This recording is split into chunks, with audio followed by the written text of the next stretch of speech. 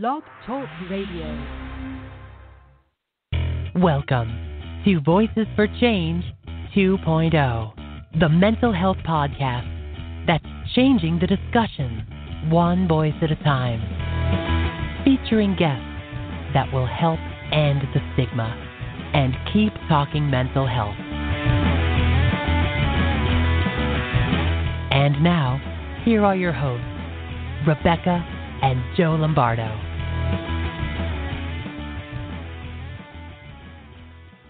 Hey, good morning, everybody, and welcome to Voices for Change 2.0. Yeah, how's it going, guys? Thanks for tuning in.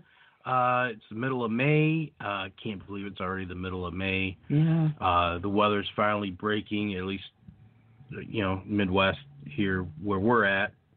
Um, you know, Detroit area and, and whatnot. Uh, it's actually been, well, it was pretty hot yesterday. Yeah, it was, Surprisingly. it was warm. And, uh, you know, flowers are popping, allergies are kicking in. Um, sure.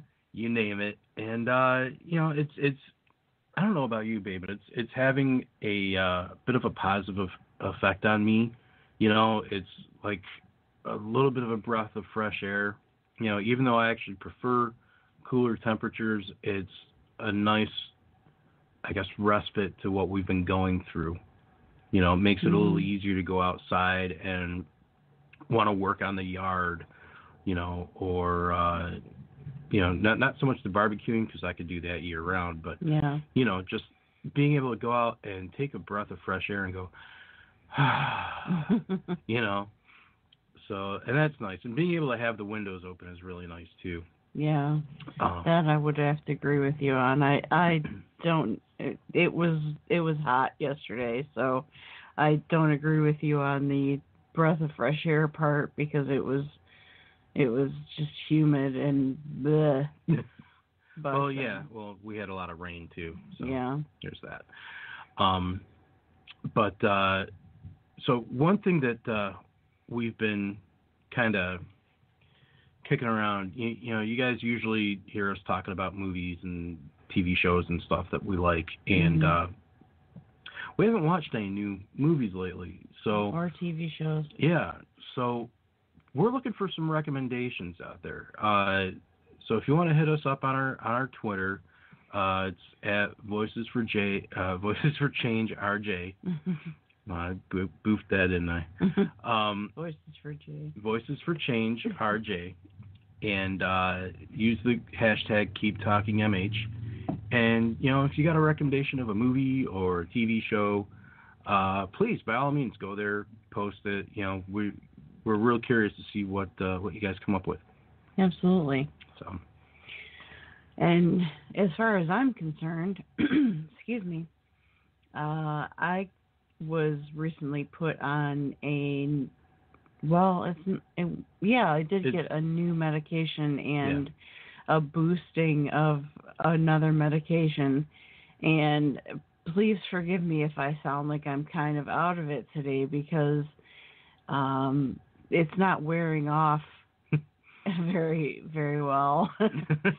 um, I- I'm uh, I got up to uh, 300 milligrams of trileptal, and I was also put on temazepam because I'm not sleeping.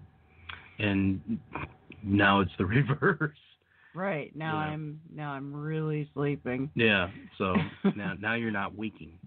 Yeah. So uh, yeah, so bear with us today on the show. Um, and uh, you know, If, one, if anybody wants to talk about meds, feel free to to message me.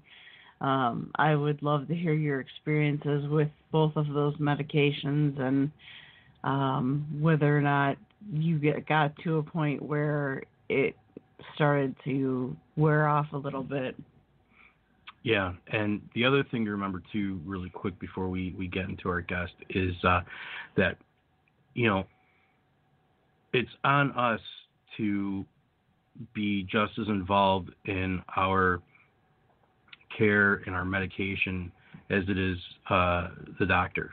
Mhm. So, you know, if something's working or not working, you know, you have to be able to actually go to your doctor or psychiatrist, what what have you, and say, hey, this is working, this isn't working. Can we try something different? Can we boost this up?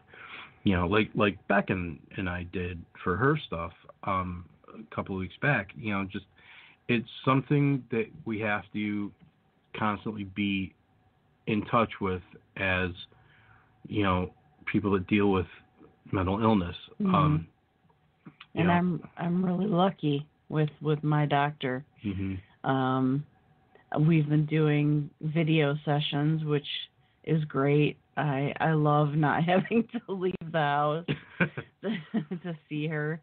Um, I wish we could keep it up after the whole mess that we're in now. I wish we could keep doing it that way.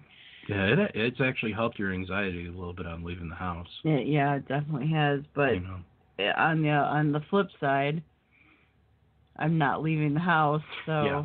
So there's that. so you know the i'm not challenging myself Yeah. to get out there and but now is not really the time for that yeah. you know exactly. so Yeah. So, moving right along, Mm-hmm. moving right along. Uh, we're honored to have today's guest on our show, especially considering we broadcast from an LGBTQ network. Our guest is a doctor, a mental health advocate, and a transgender woman. But these traits don't define her, they just contribute to the beautiful human that she is. Please welcome Dr. Emmy Zje. Hi, this is um, Hi.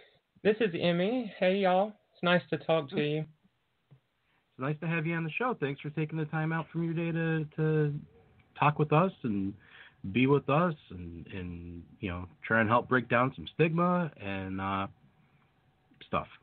yeah, no, I appreciate the work that you're doing here, and um, in fact, I've spent some time since I, I first had some interaction with Rebecca um, on Twitter. Is where I ran into to Rebecca and this um, this whole um, uh, Voices for Change 2.0 that that you're trying to do, and I mean, quite frankly, um, even aside from the topical elements where you know we find intersections for mental health with, you know, um, the LGBTQ community, um, I think aside from the actual material intersections, there's a whole lot of um, symbiosis between the types of struggles that that we deal with in turn. You know, something that Rebecca had just said is getting out and challenging um, herself.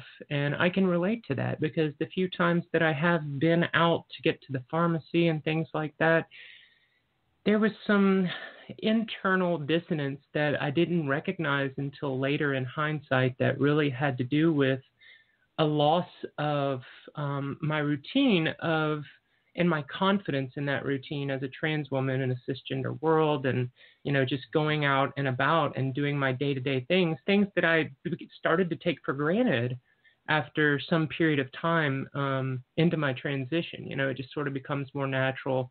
You have to think less consciously about everything and what you're doing and and stuff like that. So it's it's been interesting to get out these few times and and feel some of those old demons that that used to haunt me that that I ultimately was able to defeat I think over time by being challenged by them routinely and Mhm. so so yeah I, I you know the big picture here is that I, I see a lot of I, I I read a lot of um, some things on on Rebecca's blog and um, I actually have um, several people very close to me um, um, who are diagnosed with BPD and stuff like that. So, uh, you know, I, I spend a lot of time talking with them. Um, one of them is a very close friend of mine that that I, I was having coffee with um, pretty routinely until until Until you know all the this. until all of this. Yeah. Yeah. So so I thought it was a good fit for me to come on today and you know the LGBTQ commu- community and you know the trans community um, I think probably have a lot of um, experience and um, whether positive or negative with um, different challenges to our mental health and just you know and there's different dimensions to that and hopefully today I'll be able to share some of that with you. That's- absolutely Yeah, that's our hope too. And um, you know, we, we do have questions for you. Uh, I want to take a minute to uh, apologize if anything that we ask uh, comes off as as wrong or uninformed or anything. Uh, you know, Beck and I are both cisgender, and we, you know, just genuinely want to get a better understanding for ourselves and for any of our listeners that are cisgender as well. So we've never we've never really had a transgender guest. no, So this is new territory for us, and we're really delighted to have you on because um, it's what's most important to us is is learning new things uh, about communities that we may not have anything to, to do with necessarily, very uh, uh, you know, on a on a regular basis. hmm And so that's yeah, I really understand important, that. Really important to us. Yeah. So yeah, and and I know and I get the sense that you're coming at this in good faith, and so I got that sense from the get go, and which is why I agreed to do it. And I know that these conversations are important, um, that they that they still need to be had, um, in a lot of ways for people to really get the human element of this, and for Mhm. trans Yep. to not just be an idea that that maybe you read about in a book or a newspaper article or you know even um even a even a good profile even a even a well done profile doesn't give you the same sense of of the humanity of just having a conversation and so i you know part of whenever i transitioned and came out and um started down this road um one thing that i saw that that i was um probably going to be able to do um effectively was was use my voice in that kind of way i've I've spent the the 25 or so years between the onset of puberty and um, coming out and, and accepting my re-accepting myself um, as trans.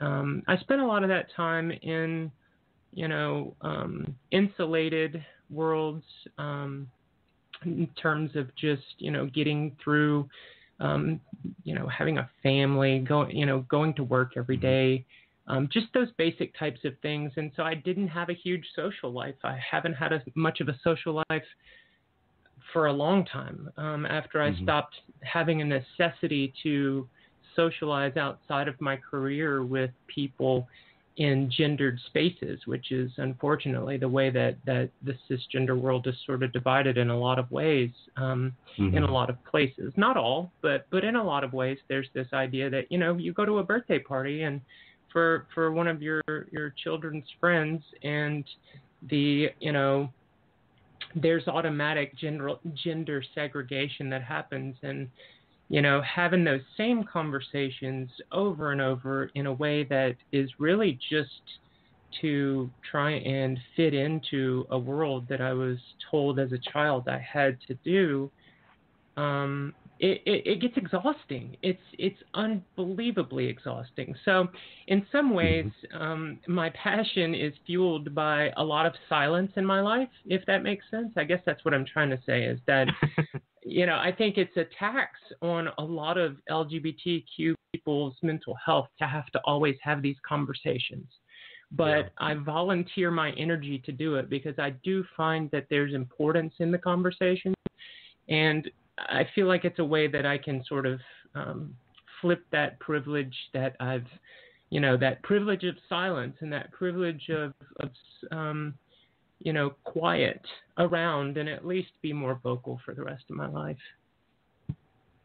it's an awesome outlook, you know, Mhm. and and you know the thing I know for me certainly I'm uh, I approach I try and approach everything from a humanity point of view versus an idea. You know, how does it how does this situation or that situation impact me as a person or impact how will it impact my wife?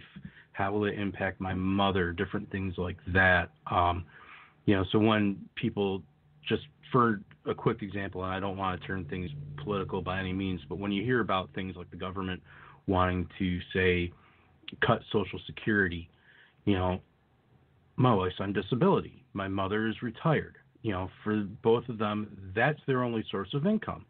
So when the government talks in abstracts about wanting to cut Social Security, I'm like, all right, how is that going to impact them? How is that going to impact anybody else? Our lives. Our li- our lives, other people's lives that are also relying on Social Security. So when you start to put it in those terms, or even what we're dealing with with coronavirus now, and I know we back I know we talked Yeah. about that we weren't going to Yeah. talk about it, but you know they talk about the testing and, and staying in and wearing masks and all this. It's like, well, yeah, like I I'm an essential worker. I don't want to bring that home to my family, so I'm doing everything I can to keep them protected.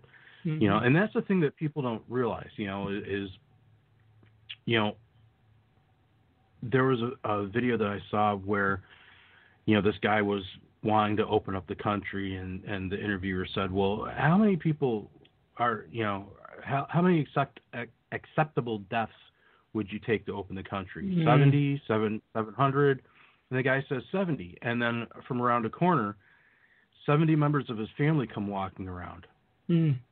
and he's like, "That's my family." And the interviewer says, "Now, how many do you think would be acceptable to die to open the economy?" He's like, "None." Mm. So it's situations like that that people don't realize is when you actually put a face to a situation, when you make it personal, that's when it needs to count. You know, so many things are talked in abstracts, but when you make it personal, people see more of how that's going to impact the next person, you know, and that's an important thing that I think is lost in this day and age. hmm Yeah, and that's part of the reason that you know, again, I'd reiterate that that I, you know, reached out to Rebecca to ask her if um, she'd be interested in doing something like this because um, I'm also a, a professor of engineering, and um, I can relay a story to you about this. It was, um, I think it was last semester. It was in the fall.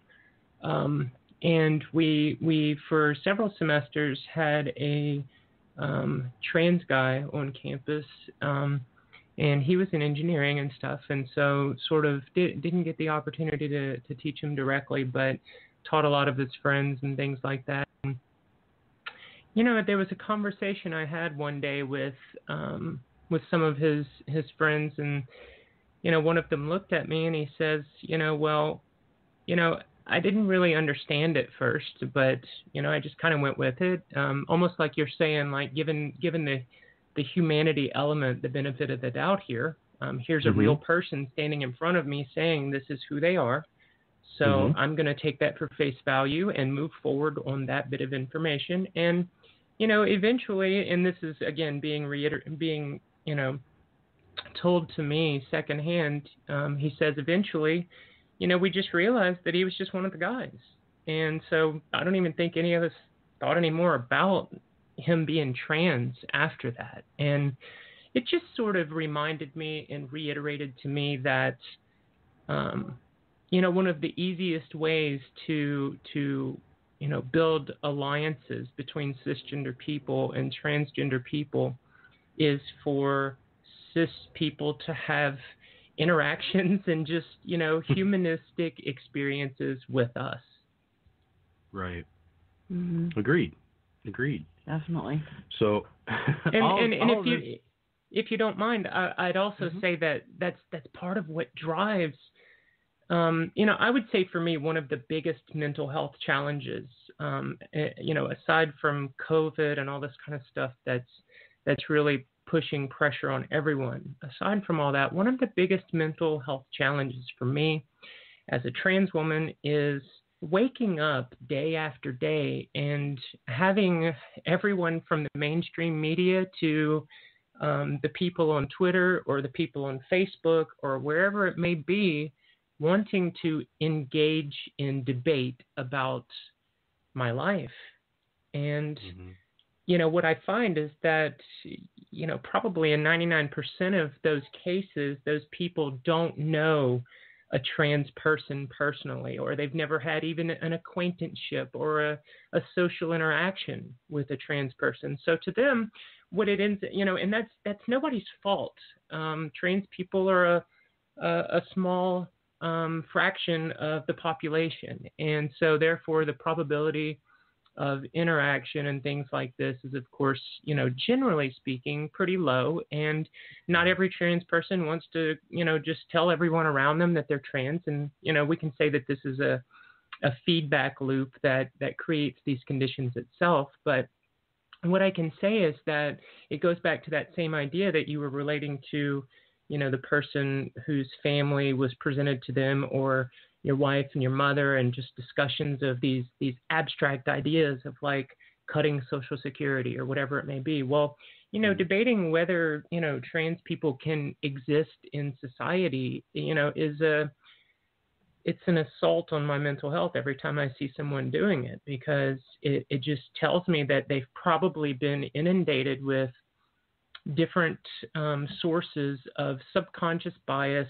and um, societal transphobia, whether it was the Jerry Springer show in the 90s or, you know, um, comedians or, you know, there's all sorts of these sources of transphobia that that are in popular culture that sort of reinforce the idea that it's okay and that trans people are something to be mocked and made fun of. And so it just snowballs into this idea that, well, all of the worst things that – people have ever said about trans people, it's easier to buy into if you don't actually know one. Yeah, I would definitely agree with you there. I, I, like I said before, I never actually known a trans person, and um, it's never, it was never a, a situation where I thought any, you know, negative thoughts. It, it was just that uh, maybe perhaps a, a trans person didn't um, come forth in in my world. You know what I mean? It, they didn't. Um, yeah, yeah. Make it known that that's the situation that was going on in their life, and um, you know, I'm I'm glad I'm glad to know you. Yes. You know, um, for many reasons. Like Joe said at the beginning, you're, you know, a beautiful human being, and you know, I'm I'm just glad that you are a part of our community now. And oh, well, you're sweet. Can, Thank you. I can I can say, you know, now I now I know a trans person, and, and I'm honored. Yeah. You know. Absolutely. Same here. Well, I appreciate that, and I would just um, the only thing I would say, you know, um, is thank you for those for those kind things. Um, but uh, I would also encourage you to, you know, just you know, at your leisure, casually branch out as you're looking for different voices to listen to and to learn better from. I would, of course, um, you know, I guess what I'm saying is I'm one of the, uh, in my opinion, one of the more privileged um, trans women, you know, in terms of there's a whole lot of other trans people that um, you know are are not white, so they don't benefit from white privilege. Um, mm-hmm. yeah. They are not gainfully employed. They are, you know, um, they they don't have any social support. I mean, I think about all of the people who live in rural areas or areas where um, you know bias and, and bigotry runs rampant. I've I've lived in those places in my life. I, I, I grew up in the South, and there's lots of pockets of those types of places.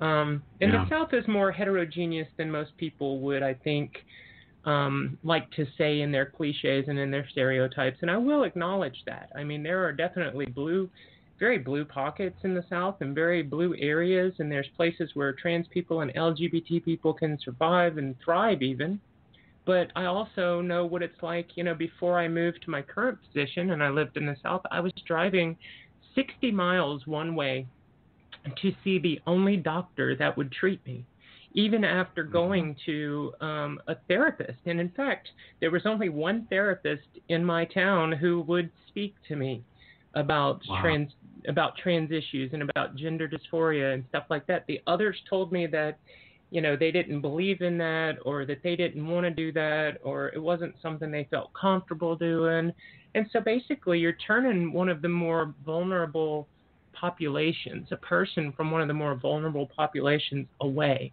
from being supported mm-hmm. so I could go on and on just about my experiences about living in in you know a place where it's it's really hostile towards you know trans healthcare and just LGBTQ yeah. people in general. But I think um, you know having having support is important, and I know that there's a lot of people um, who definitely have more um, stories to tell than than you know a white, privileged, um, educated professor um, type person in the community. But again, I try to use what I have as best I can, and I try to listen, and I've listened to those voices, and I try to direct my energy to to lift the tide, so to speak. Um, yeah. So hopefully I'm doing a good job. I'm I'm, I'm trying. I see a lot of opportunity, and I see a lot of humans in my life every day who you know I'm able to advocate to just by being an open trans woman. I I, I almost have have stopped um, presenting very much with, for example, my hairpiece. Um, mm-hmm. And that's a big deal. I mean, that's a big deal, believe it or not, mm-hmm. because mm-hmm. um, you know, hair is a big signifier in terms of the way people have their unconscious assessment of who you are. And um, in our society, a big part of that assessment is gender, especially for cisgender people. Mm-hmm. Um, and so, given that, you know, I, I, basically just, you know, wear a head wrap uh, and stuff like that. And um, I'm, you know, whenever I interviewed for my current position, I did so um, by being completely transparent and saying, "Hey, this is this is me, and I want you to know that because if you want me to come here, I want you to stand behind me. I want to have your support. I want to be a um, safe space and a beacon for for hope for other LGBTQ people on campus who may need um, some support." And that's awesome. Mm-hmm. You know, that's awesome that, that you do that and that you put yourself out there and that, you know, when you want to get the position that you have, that you, you know, you put it all out there. You put it on your sleeve and said, this is me. You know, take it or leave it, like it or not. This is who I'm, who I am, and I'm not going to hide that for anybody. And that is such courage. Mm-hmm. You know, it is so strong, and it's I I admire it. Um, I, I, I don't have any words. It's just it's awesome. It's just mm-hmm. cool. Well, thank you. No, I appreciate it. And and again, this is another one of those things where you know I turned. Um, well, I should say I will be turning um, 41 years old this year, and Happy you know I I spent a lot of my life again, sort of you know without social life, and there's detriment to that, but also um, with a lot of insulation.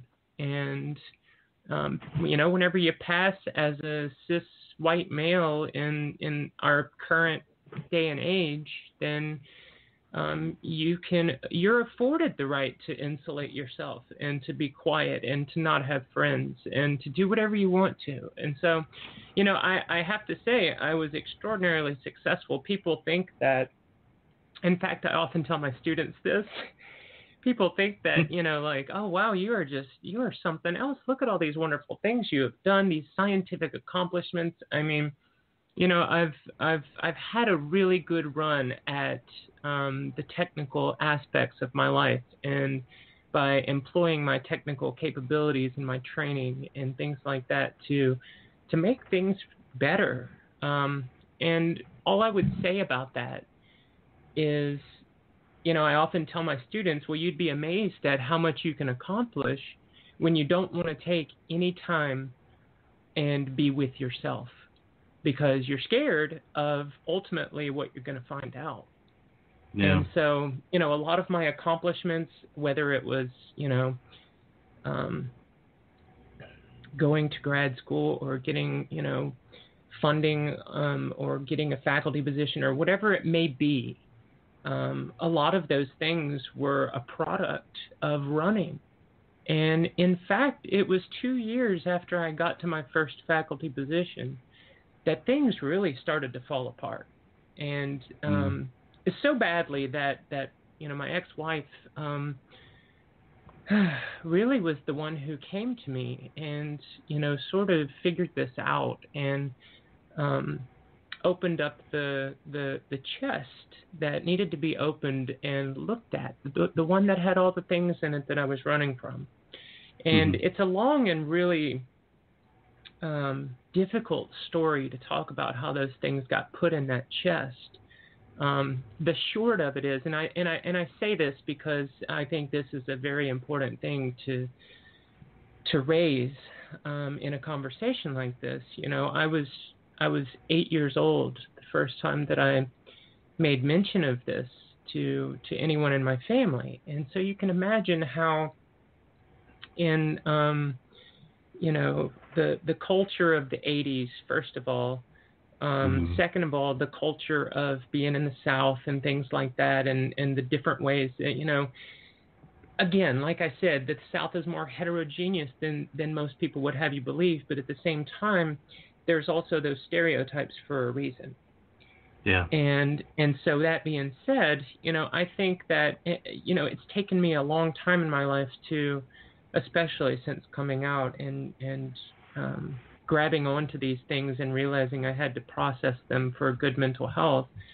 Um, you know, I try not to hold any animosity or anger or residual feelings like that to to the folks who um, had their way whenever I was younger to see to it um, almost as their duty that I grew into a cisgender male.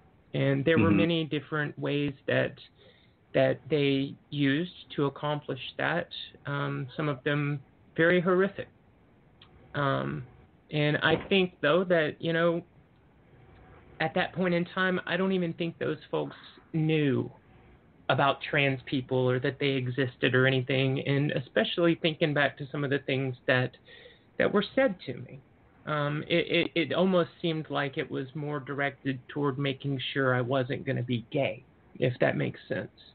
Mm-hmm. Yeah. So, so that being said, uh, you know, um, it it takes a lot um, to to sort of wake up to all of that one day, and have it sitting on your door. And and if if I could lead that into this conversation, I would say that that's why it's so important for us to do self care and to be reflective and deal with our feelings, our traumas, our our different um, you know immediate responses versus responses that are measured and thought out. You know, because so many people in our community deal with mental health challenges as a result of trauma. And if I could do anything, I would just I would try to offer to folks the tools that I have, you know, developed. And I, I say that intentionally. I mean, you have to develop and sharpen and forge these tools to, you know, for your own specific mental health challenges because we're all they all present so subtly differently to everybody. Um, so, and, and I would just say the one thing I would leave with that is that it really has come down to me for one thing, and that's been attitude. Um, I started out talking about how, you know, I'll be 41 um, this year. And so, you know, I've lived a life in a way. I have three children. Um, I, you know, and, and personal fulfillment aside, I've done a lot of good things. I've raised good humans, I believe. I have, um, you know, I've made some PhDs in this world.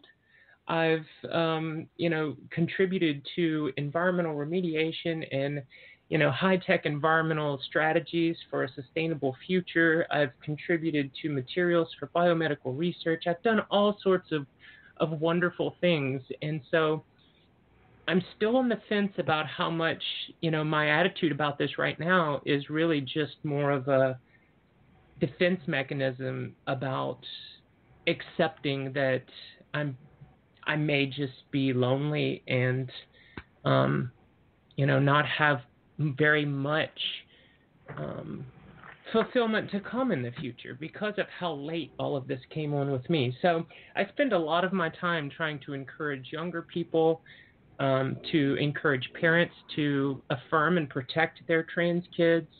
So that they don't have to go through the similar type things that I did and have to, you know, repress this and, and hold it back. And, and society, again, society does a very good job of reinforcing your own denial um, as a trans person who is um, still unaware of being trans yourself. So maybe it's a product of my own trauma, but I try to I try to find value in myself and I try to find value in what I do just by helping other people because you know, right or wrong, I'm just trying to be honest and speak from the heart. Right. I don't Yeah, I don't know that I have a lot of hope for myself because I just feel kind of, you know, like a lot of my life is kind of past now. Um and that's unfortunate, but it's okay too. It's okay. Mhm. Um, and But so my attitude was inspired by one thing. I'll leave here with this. Um, there was something I read when I was 18 years old that someone gave me, and it's it's. I'm sure you could type it in on Google and it would pull it right up. Um, it's by a guy named Charles Swindoll, and it's called Attitude. And the last part of it really, really resonated with me for for a long time. Still does. Um, you know, I am convinced that life is 10% what happens to me and 90% how I react to it. And so it is with you. We're all in charge of our attitudes. And so it really gave me an, a good shape on my perspective as a late teen who was trying to, you know, move through a bunch of traumatic experiences as an early teen and just accept that, okay, if these things happened, they happened. There's nothing I can do to unhappen them. The only thing I can do is move forward and try and be a good source of light and a good source of humanity to this world. So, Yeah. Well, I think that you're doing that. Yeah. Absolutely. Absolutely. Mhm. Yeah. One hundred percent. Um, you know, sh- should we take our break? Because I mean, Yeah, it's- let's take our break real quick because uh, okay. that's kind of our thing. um, yeah, fine. okay, yeah, I that's wasn't- great. I wasn't. I wasn't sure. I hate to. I hate to take a break from it, but um, suddenly it's a. It's a really good idea, and I'm. I'm not going to mention why. Um, but let's just say there's a bathroom involved. Um, anyway. Uh, okay, sure. we're Yeah, be whatever. We're going to be listening to "Thrill of the Chase" by Hayden Joseph. Uh, so you guys stay tuned, give that a listen, and we will catch you on the other side of it. Thanks for tuning in.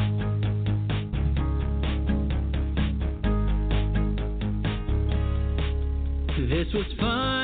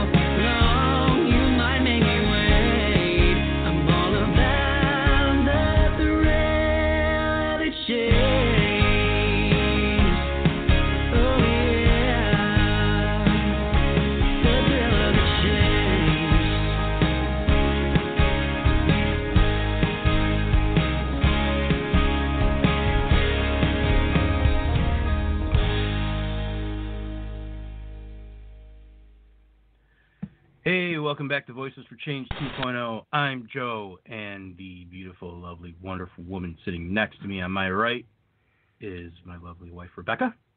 Say hi, Howdy. Rebecca. Say hi, Rebecca. Hi, Rebecca. I love you. I just said it right up there, and you knocked it off the tee. yep.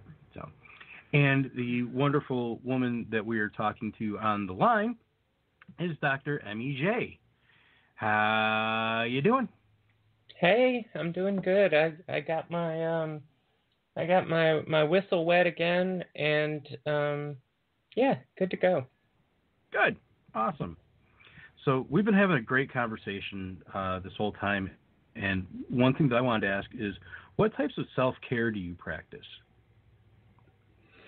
Well, that's a really good question. Um you know, I've had to adapt so much um during this pandemic too, you know, to to what I normally would have considered and and sort of what I got into as a routine for self-care, which involved things like going to the to the park and taking a walk and and things like that, which you know I think we can do that now here, um, but for a while even that was prohibited.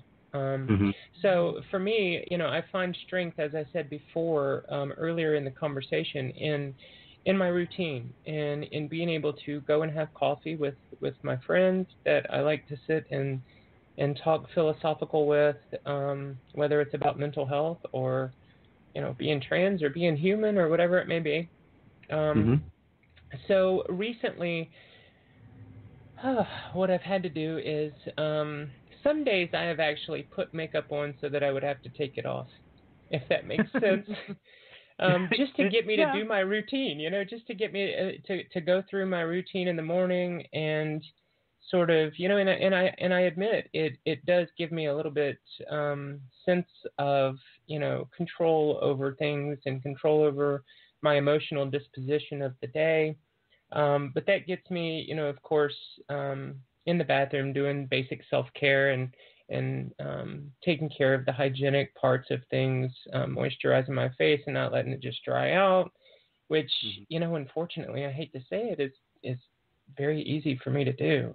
Um, it's it's been a, a very difficult inertia to overcome.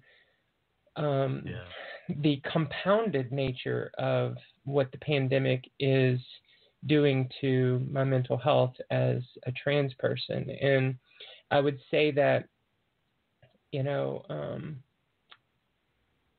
trans, being trans is, you know, I'm still trans during a pandemic. Um, Right. It's not a choice. It's not a lifestyle choice. I don't, I don't, I don't want to be trans. I don't, I don't want to be a woman. I don't want to be any of this. I just am it's the hand that I have that I was dealt with.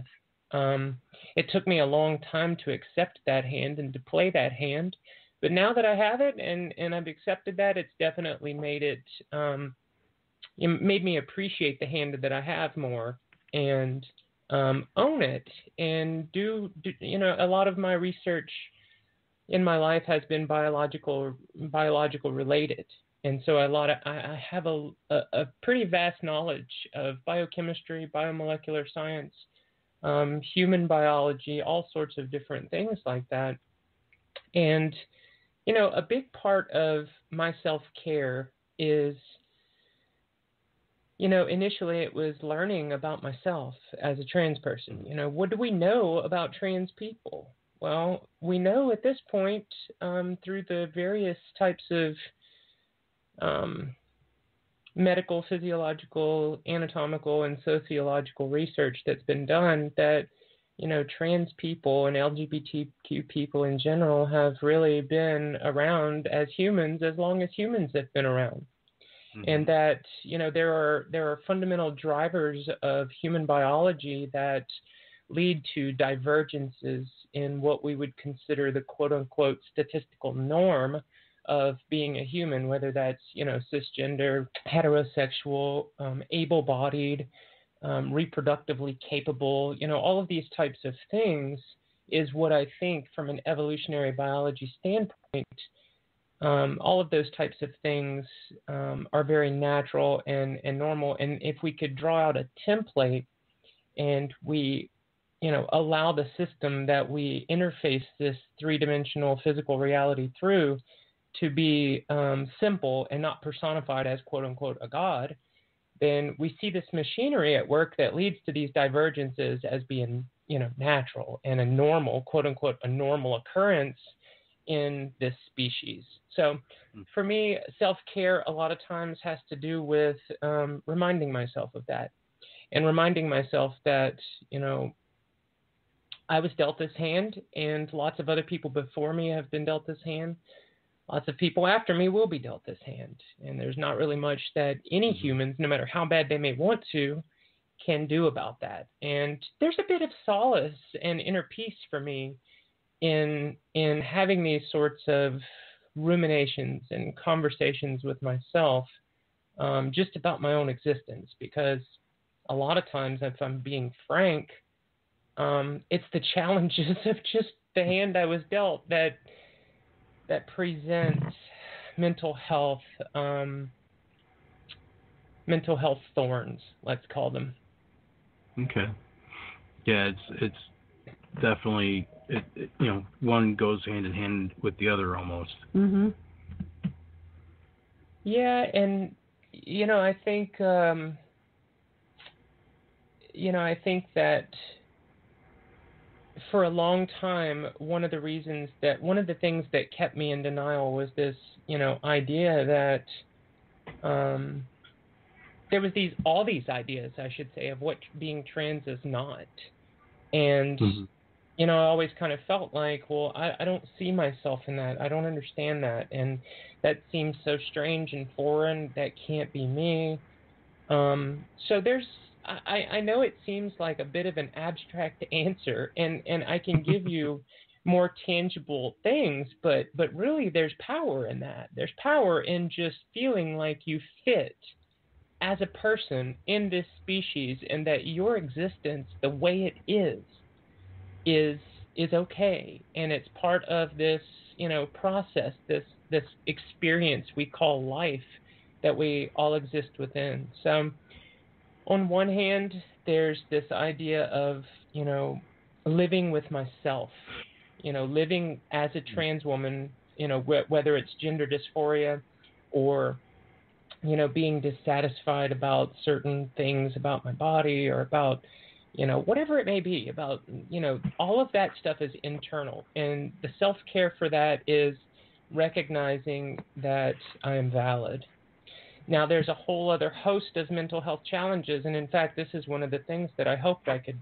i could talk about a little bit today is Mhm. there's this there, there's one side of the coin that is all of the internal challenges to our mental health about being trans and then there's also these external challenges to our mental health about, you know, that, that really come from society's lack of understanding or lack of acceptance or lack of, you know, courtesy, just common courtesy and benefit, what I call the benefit of the doubt.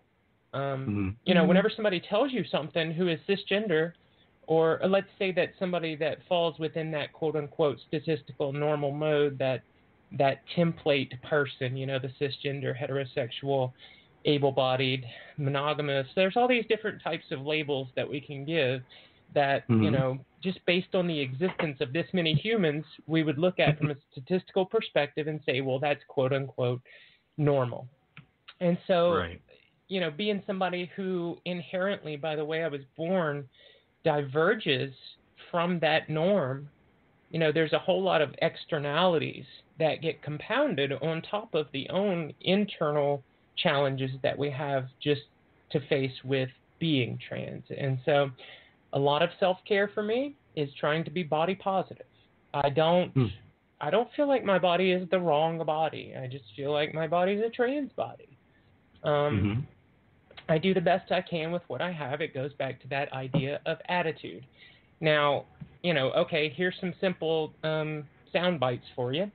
I like cooking. I love cooking. Okay, now maybe that's my chemistry training too, but I was also told you never trust a chemist who can't cook. So you've got me on both sides there. Okay. Um, I like to um, listen to music really loud, which at 40, almost 41, is not probably the best thing I should be doing. Um, I like playing I'm games 40 with my kids. I'm Go ahead, 46 go ahead, and I still I'm 46 and I still listen to music really loud. So It's- you're not alone. It's helpful. Yeah, it's Yeah. a good coping strategy for some things. You know, it just allows you to resonate it out. Um, Mhm. Yeah. But playing with my kids is a big thing. You know, d- talking to them, trying to just you know teach them about life. That's a that's a good self care thing because, you know, and again, maybe this is just back to me trying to validate my own existence through helping others. But either way, it does help. Um, I want to Mhm. make good humans that go forth and and make this world hopefully a little bit better. Um, and then there's making coffee. I, I also love to make coffee as self care. Um, I, I I used to do espresso for about 12 years, and now I've gone to percolating. So oh wow. I, I'm a bit of a coffee savvy, you know, um, roaster person, I guess. hey, you know what? That's there's absolutely nothing wrong with that either. Mm-mm. You know, uh, I enjoy a good cup of coffee now and again, and uh, you know, you can you can tell when someone's taking their time and put their care into it versus somebody just slaps something together and you're drinking, you know, brown water. So, yeah. you yeah, know, that's good. so that's good. so there's there's a talent to it, um, and don't let anybody tell you different. You know. Yes, sir. That's right. Yeah. So yeah, no, I, I uh, you, you you definitely speak to me on the on the loud music part of it. Uh, I've been I've, I've, been playing guitar for over uh, was it over 30 years, babe? Mhm. And uh, it's so long it's so long I can't remember. And you know I'm not happy unless I've got loud guitars and loud amplifiers and some hearing loss. So yes. Yes. you yes. know what I mean. So I uh, do. so I that's do. that's me. You know. Um. You know. I want I wanted to ask uh, because we're you know we're we're the show's winding down a little bit, but I wanted to ask you um, what is your advice for a young person who may be struggling with their gender identity or sexual identity? Wow, that's that's a great question. Um, so relevant. Um, so you know, I had someone who served a little bit as a mentor to me um, right after I came out to myself, um, and so so I had a little bit different. You know, my my second acceptance of this was, you know, I spent a couple of years literally trying to um, position myself and plan accordingly and figure out a way to do this that minimized harm and you know potential harassment and that kind of stuff for me for my family for you know just just all around so Mhm. i took a, i took a bit of a different approach in that regard and i think that that's okay you know for especially for me um someone who came out um later in life with sort of an established you know career, family, and this type of stuff, it gave me again that insulation to be able to sit around and do that. Um, and the first thing that I would suggest is reach out to online communities um, and find people whose experiences overlap with your own. There's so much power in just talking to other people in your community who have experienced things similar to you. There's some sort of empathy um, response that's generated there, and you know I've formed bonds with um, you know some trans women over the few years I've been around Twitter, for example, um, that are you know I think lifelong bonds.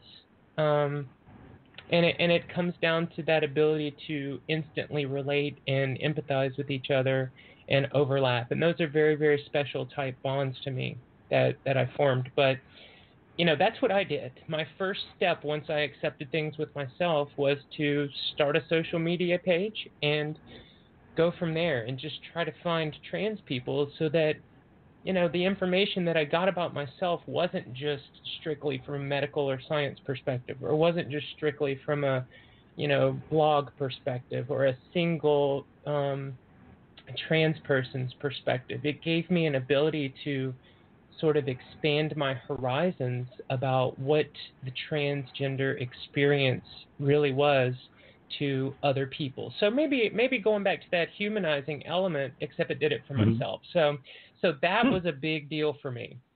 Um, second, I would suggest reaching out and trying to find local communities um, so that you can have real in-person support. Um, you know, I have talked to so many people who benefit so much from the communities, um, the LGBTQ community, um, whether it's group therapy meetings or whether it's, you know, here we have a bingo night sometimes. Um, Hmm. you know, it's just reasons to get together and and share in our common lived experience without ever even talking about it. You know, just kind of sharing in our presence. Um, and then third, you know, and this is where I would advocate strongest. I, I really believe that, and I wrote something about this not long ago. I have a Mhm. real challenge getting students um, to come to office hours because there's this stigma around office hours that, you know, if you go to office hours, that must mean that you, you know, aren't smart enough to to get it on your own or something like that. And Mhm. um, I see a lot of the same sort of stigma and and um, you know defensive responses to to mental health and self care and stuff like that. So I think that high quality mental health um, therapeutics should be freely available to to um, you know citizens of the United States, like most other developed countries in the world. Mhm. And Yeah. you know, so so so so I guess what I'm saying is that I I strongly advocate for finding someone, a therapist of sort, that you can talk to, and in that sort of confidential uh, confidential space, in a in a space where they are able to, you know, especially if they have experience in this regard. Um, but at the very least, they can give you broad and general healing tools and help you forge those healing tools that that I started out earlier talking about. Um, so so I want to be sensitive to the fact that number one, you know, not everybody has access to quality mental health care, and that is Right. tragic. And I think it needs to change. And I think it's a very very huge shortcoming for our country.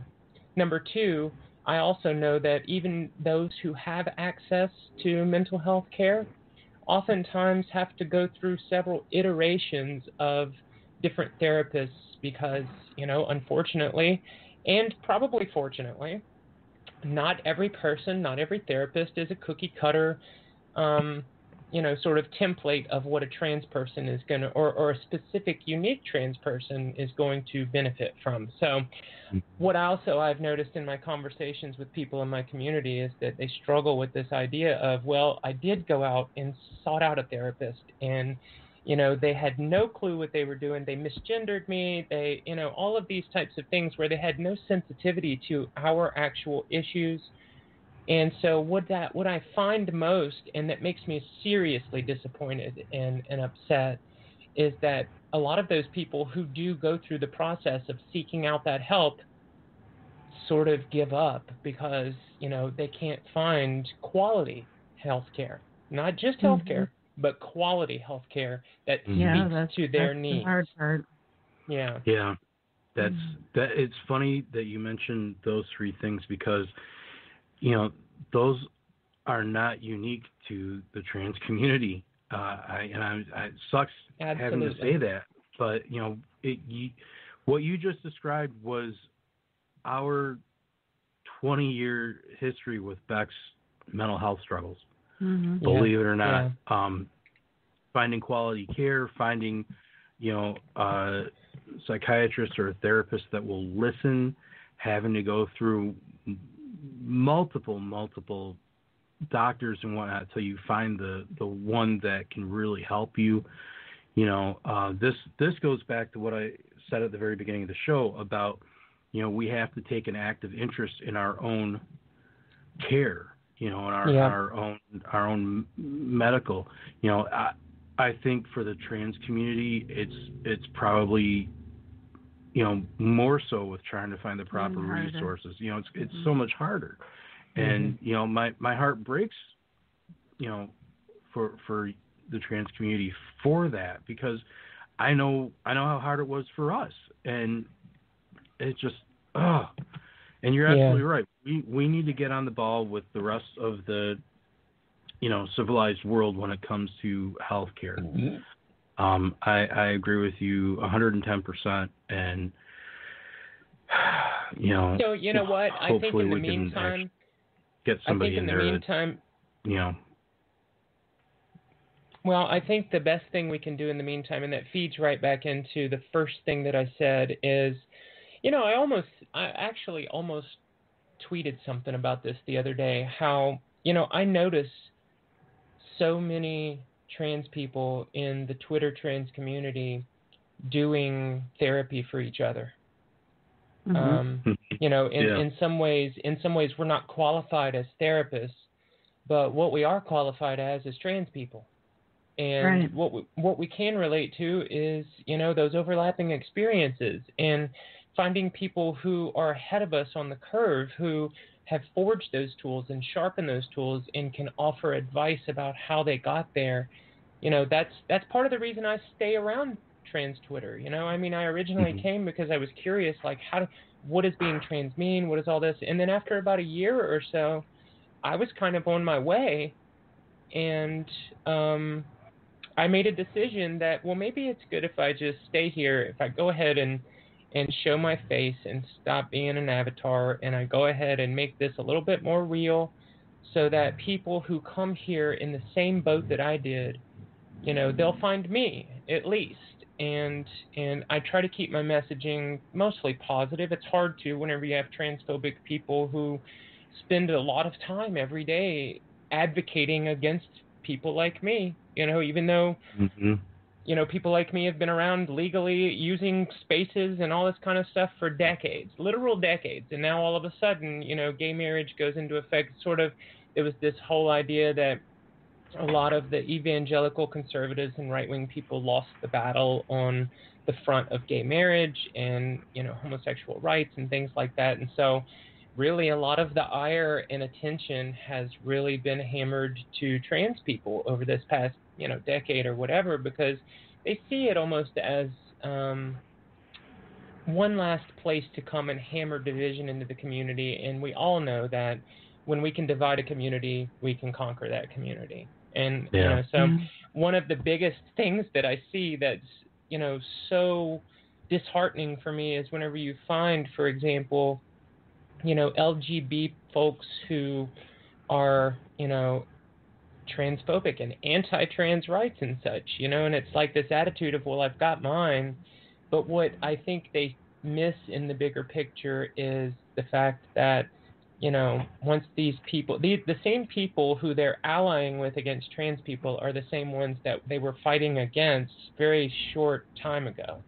So Yeah. I don't know. There's a little short-sightedness there, but overall, what I would say is, you know, come to find you a community somewhere online, um, find you some people with related experiences, and if the very best you can get is to have a community, a small community of people who can share their tools with you, then I think that's worthy. And that's a Absolutely. Absolutely, and that's a that's a great note for us to uh, end on. unfortunately, I, I hate to to call it on the show, but you know, the end is near. so yeah, no, that's we- fine. Thank you so much for having me on. I so appreciate it. Oh, it's been our pleasure, Emmy. Uh, thank you so so much for taking the time with, uh, with being with us, and we would absolutely love to have you back um, to to talk more about this because I know we we just scratched the surface, you know, I, and I realize that, and you know, you're such a lovely person, and uh, we're Beck and I are both honored to call you our friend. Um, so what we want you to do is uh, stay on the line. And uh, everybody else, you're going to be listening to This Is Who We Are by Blake McIver. And we'll see you guys next week. Stay healthy, stay happy, stay home, wear a mask, don't take Yes, any wooden please. nickels, don't eat spinach with strangers. Goodbye. Pulling past the signpost of this tiny weathered town. The tears welled up so high inside, I thought that I might drown. Everything is different, but it all looks the same. And now you're here beside me, and I'm rid of all my shame. I just hope that they will see what has always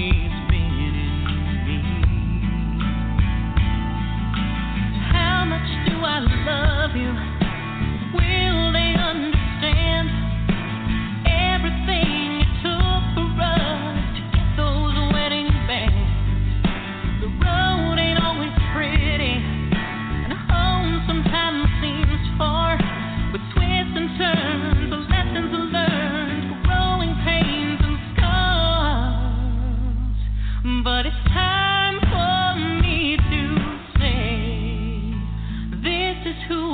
are.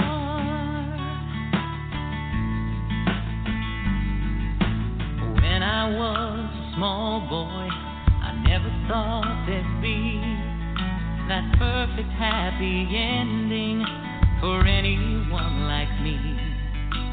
I could read the signals, fake smiles and the blessed hearts, and I still hear the whispered words that said I'd never be apart. Now I want